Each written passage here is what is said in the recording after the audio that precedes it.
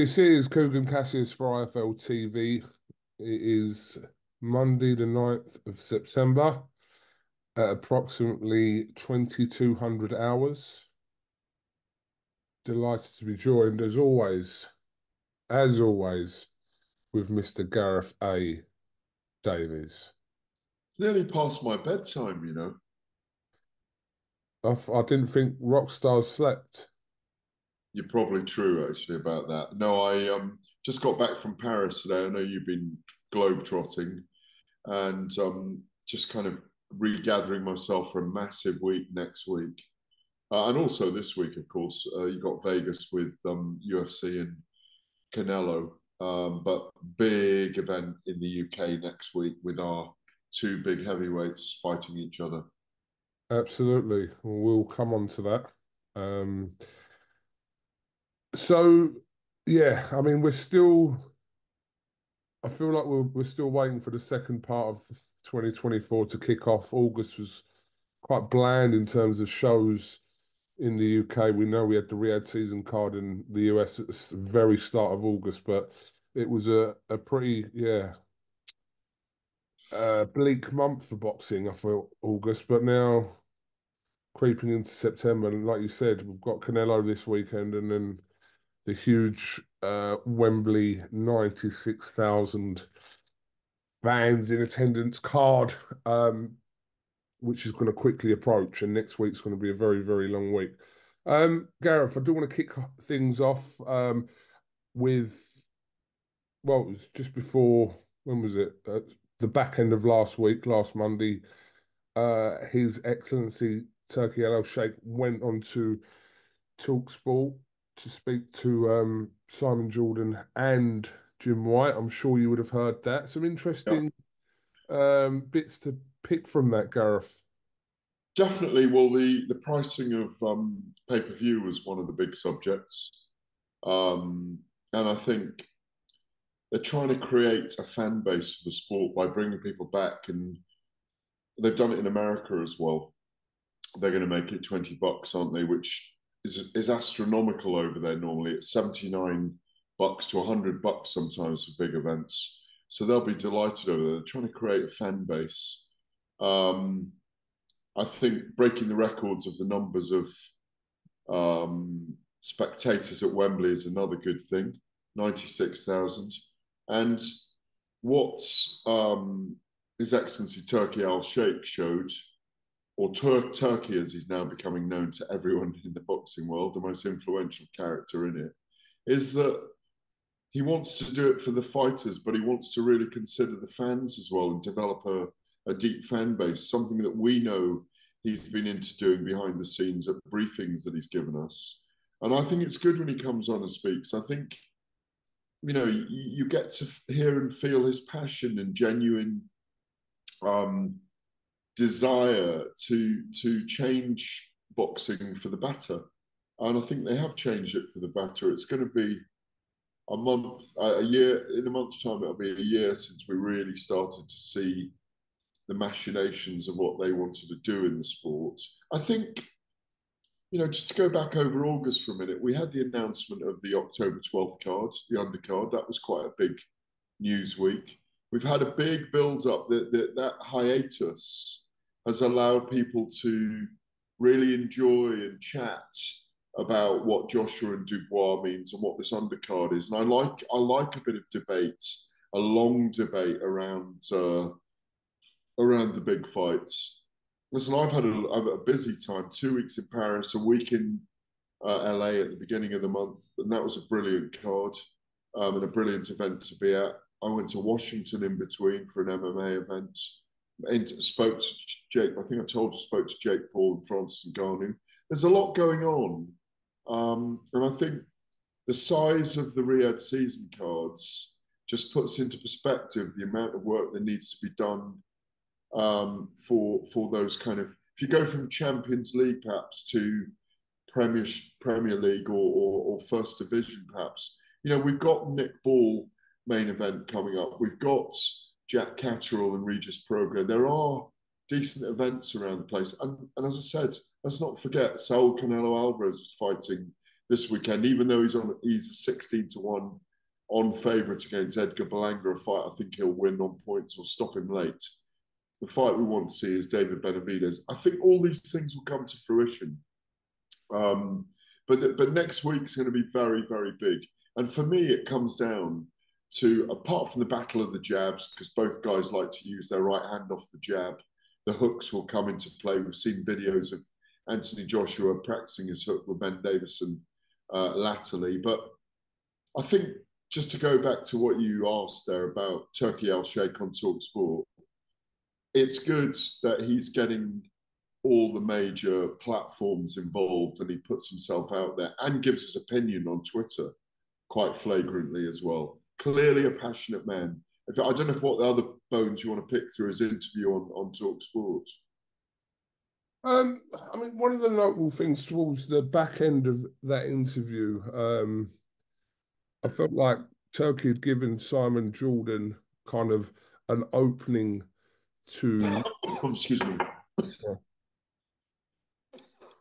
Yeah, giving him an opening. You gave him an opening to um, voice any criticism, any kind of any any feedback Simon had. Um, I felt like Turki was kind of willing to have that debate with Simon on air. Simon kind of just reading between the lines said that they would have this discussion kind of at another time, and then Turki come back and said that you know we will have to do this publicly um, because it does feel like because Turki does believe that Simon especially has still got reservations, and Turki wants to kind of get to the root of what those reservations are about anything to do with Riyadh season and kind of have it out. That's what it felt like for me from that interview.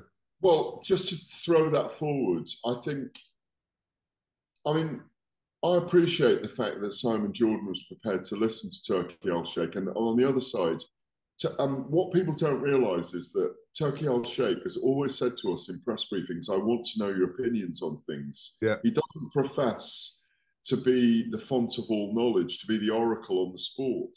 He can see the the um, the things that need fixing. There are things in boxing that simply can't be fixed. Like when we talk about Anthony Joshua, and I, I, I my reservation to say this, I'm going to reserve the right to say this, even though I'm not saying this is a criticism of Anthony Joshua. If he beats Daniel Dubois, becomes a three-time heavyweight champion of the world. Um, in a sense, I'd like to have seen him beat Alexander Usyk to become that, or to beat Tyson Fury to become that. But this is the irregular algorithm that boxing lives in.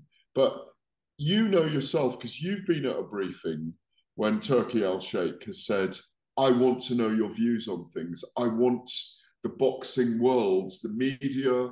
Um, and then that includes Simon Jordan and their shows on Talksport, White and Jordan, you know, as fight night that I do with Adam Catterall or Adi Oladipo, Spencer Oliver, whoever be it. Um, he wants those views put out there. He doesn't mind those views.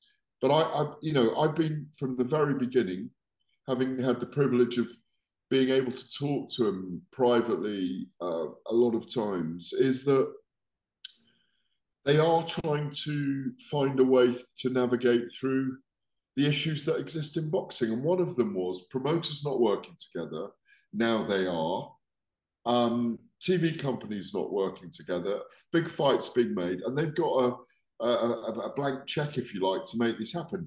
And that was kind of borne out the next day when Eddie Hearn went on to White and Jordan, and he spoke and, and to to to Simon and Jim, and Simon said, "Well, Turki could do away with you if he wanted to." because he doesn't need you. And Eddie Hearn spelt out what goes on in the background to all these things. And in a way, uh, and you know, I've said this to Turki Al Sheikh, His Excellency, that the things he wants to do are huge and effectively involved almost in governance of the sport rather than being a promoter.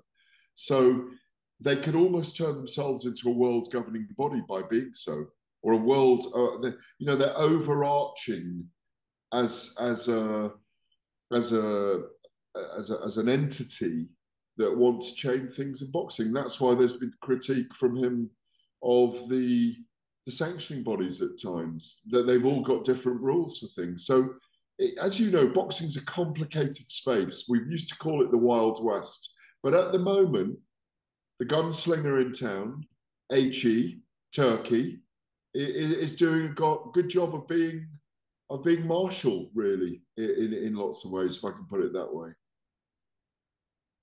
Just coming on to a couple of other points from that. Like I said, this is over a week old now, just over a week old. This this interview we haven't caught up, obviously, uh, since then, Gareth. But um, he he made his point of wanting to make the Tyson Fury and Anthony Joshua fight if if AJ obviously beats Dubois, but regardless of whether Fury's to beat Alexander Usyk, um, it looks like an offer will be made to make that fight, regardless of the result with Fury and Usyk. Well, you have to commend. Yeah. No, you have to commend that. It's not as big a fight if Fury wins and, and Joshua wins. Um, and if people, I, I, don't want people to mistake. We, we, all want to see that fight. Um, it's it's one of the biggest fights in boxing, and it's one of the biggest fights commercially in boxing. It reaches outside what we'd call a trade fight or a, or an in, internally an, an, internal boxing fight that was very much for the diehards because that fight is probably the biggest fight in the world because it, we've waited so long for it. We've lost Deontay Wilder against Anthony Joshua, I suspect, because of the state of Deontay Wilder right now. Um, it all comes down to how and if Fury, how particularly Fury loses to Usyk and what state he looks like in the fight.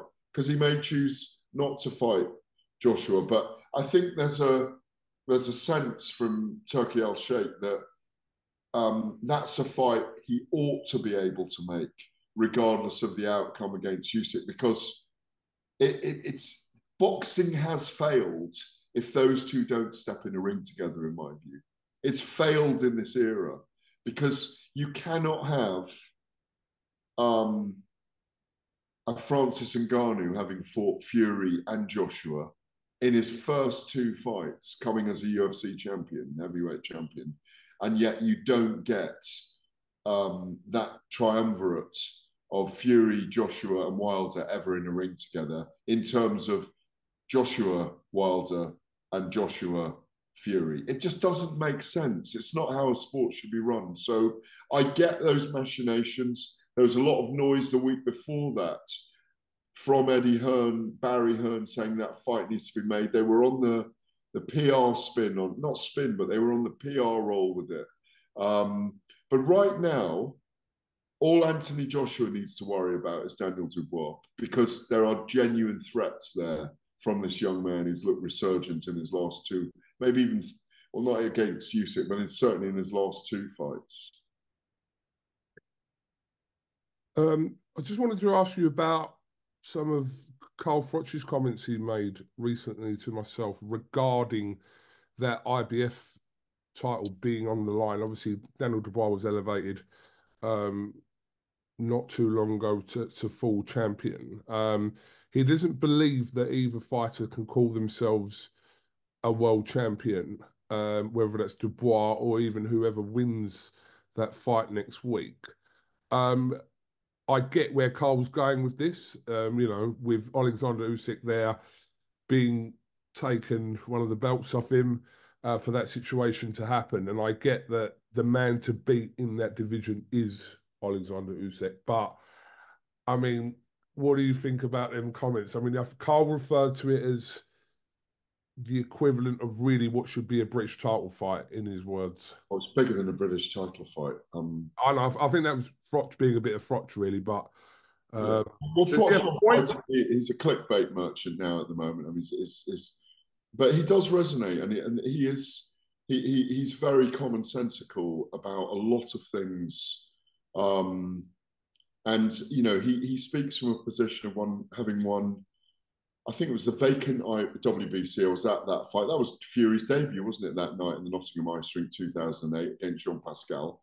Um, that was Carl against Jean Pascal. An amazing night, an incredible fight. and, and, Carl always fought with his heart. And I think when he beat Lucian Bute, I think that was IBF. That was IBF, yes, correct. Won the IBF title off Bute, didn't he? So Carl is speaking from a position of someone who's been there and done it. You have to give him that credit. Um, but he's also speaking from a position of a man who jokingly, I think, referred to, I'm not coming back unless I can fight Jake Paul or someone like that at the moment.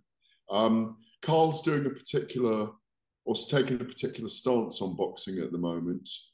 Um, but I, I touched on this earlier that the man to win the title from was Alexander Usyk, and of course, Usyk if he beat Usyk if he beats Fury will end up maybe fighting for the undisputed title again at some point. Um, if he does, if he wants to, and if he has that desire to do so, he's not getting any younger. But I, I, I can't argue with Carl, but it's always happened thus. You know, Lennox Lewis was stripped of the title of a title. He threw a title in the bin. He, he, he chose not to fight certain people over politics, as he called it. And this is a this is a deft move that is politics in boxing, where that IBF title. I, I mean, it's it's a it's an fortunate or unfortunate, however you want to look at it, set of circumstances where Daniel Dubois defeated the timing worked out that Daniel Dubois defeated Filip Hrgovic against the odds. Hrgovic was the mandatory. Hrgovic would have been fighting for the IBF title here against Joshua. Remember, we talked about that months and months ago. So they would have, no one would have complained about that because eventually, um, I think people might argue about the semantics of Joshua being a three time heavyweight champion in the world. I think that's what Carl was arguing about um, because he'll get labelled that if he wins the IBF. But at the end of the day, um, Daniel Dubois put in a brilliant performance against Filip Hrgovic, got them the interim title, the mandatory title, uh, sorry, interim title and mandatory status. And, the, and, and Usyk was stripped of the title because of a rematch with Fury. So it, you're creating a rod for your own back because those are the IBF, them's the IBF rules. So even though he relinquished it, he would have been stripped of that IBF title anyway in a matter of days, and it would have been available for this fight. So I don't see Daniel Dubois. I see this almost as a vacant title that they're fighting over. That's what it really is. Yeah, I mean, I, I would say that Daniel Dubois himself probably doesn't feel like a full champion until um, if he beats Anthony Joshua, then I. Well, he said that, Kugan. He has said that. He said, "I've always seen Joshua as one of the top guys in the division. I wanted to come into the sport to be a kingslayer, and that's he's my target, and that's what he wants to do." And that's very impressive of him. It's not about the belt. He wants to beat Joshua. That's the key for him. He just failed against Alexander Usyk, having given him a very hard time for five rounds. And if he can beat Anthony Joshua, he powers to the top of the heavyweight ladder with with with Fury and Usyk, in my view. Hmm. Next week it's going to be um, explosive. There's so many like interesting fights on the card. We've discussed them. You've got Liam Smith and, and Josh Kelly and uh, Hamzah Sheeraz. There's Josh Warrington against Cacace. It's a really stacked card, and then obviously the 12th of October.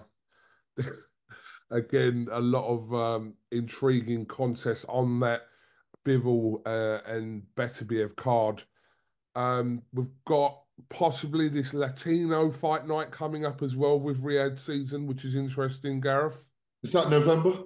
November, I think it is, yeah. I don't know if it's put together yet and anything's revealed. I, can't really know, but yeah. I, I, I cannot I'm not at liberty to to say who the who the fighters are at the moment. I know the card's still being constructed, um, but it'll be a big one. It'll be a really big one. It's another step. Um, you know, I think what I can, what I know is, without anyone from on the inside telling me, I think Oscar De La Hoya is going to be over here, um, and there's going to be some revelations after uh, Dubois and Joshua have fought at Wembley in front of that record-breaking crowd. Um, so, yeah, there will be some. It, it's good again. Oscar De La Hoya's tied in. Um, Bob Arum and Top Rank are being sponsored, um, headline sponsors by Riyadh Season. Al Haymon will be in on it soon, even though he's got his deal with Amazon Prime. I'm sure he will see the benefits of the business of working with the Saudi Arabians. So it's all cooking up, and I think um, we, we are we are getting the biggest names in action around the world, and it's under the umbrella of free Riyadh season. Um, I don't agree with Simon Jordan that Turki Al Sheikh will get rid of promoters. He will need them.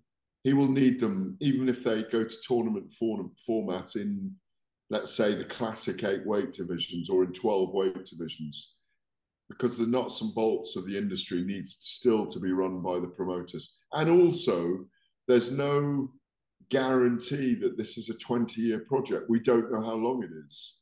Um, even though they do look like they're in it for the long term, we know about um, Vision 2030. I expect them to be in for at least that long. Um, and then they'll do the Olympics and Paralympics, I believe, in 2036. I'm sure they'll bid for that. I don't know, but I'm sure they will. And we're, we're looking at the World Cup there in 2034. So there's a building, isn't there? There's women's tennis is is moving towards there's some big tournaments in that. So it's it's it's not just the picture of our small pocket of sports.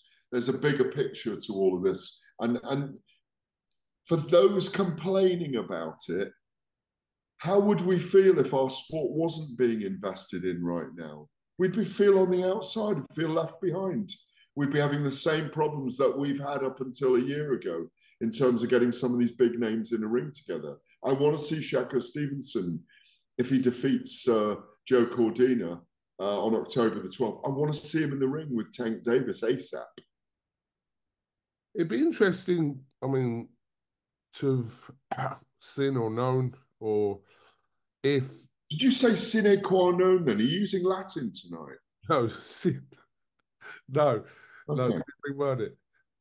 I'd like to have seen or known, or known, what would have happened in boxing over the last 12 months if you completely took out the aspects of Riyadh season? Well, I think we might have got Joshua and um, I think I think we would have got uh, Usyk against Fury eventually, but not for the money that they've received. I don't think well, maybe they would have signed a rematch. No, I think we'd have got the fights. I think we'd have got them because. Um, sure about that? But not not for the same amount of money. But we can't. There's no guarantee. They were. They were. Look, we remember we were very very close to Joshua and Fury happening. Very close. A double header, which was also backed by a different Saudi Arabian group, until Deontay Wilder won his arbitration case for the third fight with Fury. Um, I think, yeah, I do think we would have got some of the fights, but we may not have got them in the same magnitude that we're seeing now. It's impossible to answer, but even it, like, it is. It is. Beterbiev and Bivol. Would we have got that? The cards, no, not as quickly. The cards that we had um, over Christmas, even Hearn and Warren, would they, they they wouldn't be working together now? Nope. No, they wouldn't. There'd still be internecine rivalry between those two. We would not get the, the, levels of cooperation. We know in the background that Frank Smith was talking to George Warren and that Ben Shalom was meeting with them every couple of months. I did a story about that in the Telegraph uh, uh, a year or so ago, uh, before the, um, I think before, might have been two or three years ago, that they were working together so that they weren't, they were aligning not to have big events on the same night. But the level of cooperation we've got now, no. And the fact that Ben Shalom has got some, I think on October 12th in the Riyadh season opening card, he's got four fighters on that card, which is terrific. He had Bakole on the card in Los Angeles. So you've got the three promoters, certainly with the with the big three television companies, you know, with Queensberry, Matchroom, and Boxxer all working together. I see in the next few months, I do see Oscar De La Hoya and Bob Arum working together. That might be that announcement, um, the Latino card that you're on about. There's, you know, I do think we're going to get promoter, but UK promoter versus USA promoter and fighters all aligned. I think we'll get that card because um, I think there's an ambition from His Excellency Turki Al Sheikh to do these things. And when you've got a pocket as deep as, as they have with their public investment funds, then then it, anything's possible. That's why we can fantasize about the greatest fights at the moment, Kugan. I mean, you mentioned that card on the 12th of October there. We can't forget um, who's had a lot to do with that card in Spencer Brown, who's worked tirelessly behind the scenes to to put the majority of that undercard together. Like you said, Ben's got some of the those fighters on the bill, but yeah. Um, well, it always makes me laugh with Spencer because I've known Spencer many, many years, and you know he's a top guy. He really is a top fella, as well as being Tyson Fury's manager. He is very much an advisor to these cards. He's a very influential player in the market. But you just said it. He's a behind the scenes guy, even though he gets dragged uh, front and center sometimes at press conference daises. Spencer is a guy that works extraordinarily well behind the scenes. He's got a massive army, as you know, a massive army of workers, and they do merchandising and all sorts of things. And you and I have been on the road with Gold Star before many times. I've done uh, yeah. many shows for Gold Star where I nights out with Gold Star, to be honest. And, and lovely nights out, and they're, they, you know they're, they are boxing men through and through. They're um, and and you know um, I think there's an honesty about Spencer that that cuts through a lot of the politics, and I think that's why he's become such an influential figure in boxing. Um, you know, notwithstanding the fact he's he's he took over as Tyson Fury's manager. I thought I want to say like a year and a half ago, two years ago. Whereas he'd always had a close relationship with Tyson, and and you know he's one of the sports characters as well. He, he, like I said, I can't say enough good about him. And you can see that he's got the full backing of Turki as well. He, totally, he's yeah. an advisor to him. Yeah, and, there's there's that dynamic works very well between. Yeah, Turki it does because he's independent of the promoters. I know he's on there as a Gold Star Promotions, but you and I know Spencer well enough to be able to say that he's a very independent person. Um, and, and, and I can say this, man, he doesn't give a shit as well in the right way.